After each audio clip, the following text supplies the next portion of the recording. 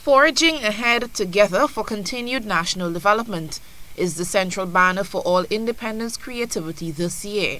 And true to this, the parish of St. David, with support from the Office of the Member of Parliament, is making its mark. The Batiste family of Laurelland has undertaken a project which is seeing all hands on deck. Mother Cheryl Batiste says painting the walls have become a yearly initiative for her family. We take on that project to do uh, the wall um, for the independent. Well, myself and my two daughters. So what I'm doing here, I'm just doing the, the rough painting and then she will come back and do the finishing up.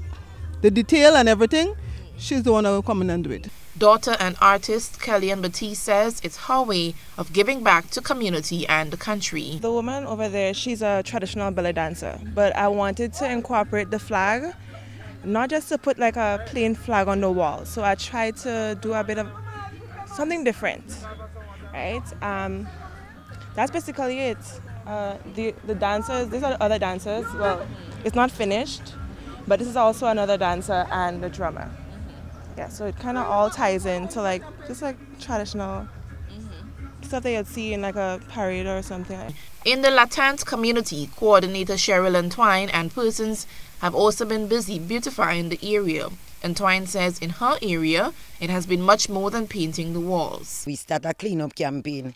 After that, we would have um, we have all the people in the community putting out the garbage, like the galvanize and thing, because the community asked for that. Over the weekend? Over the weekend. So by Wednesday, Thursday, some is out already. So by Wednesday, Thursday, I would organize the truck so that they could take it out of the village. Last year, community members in La Poterie St. Andrew was recognized for their contribution to the beautification of the island, and the planning committee for the celebration is urging all villages around the island to rise to the challenge to show patriotism. The Independence events will climax on February 7th with the Independence Day celebrations to be highlighted by a military parade, cultural display, and Made in Grenada exposition at the National Sports Stadium.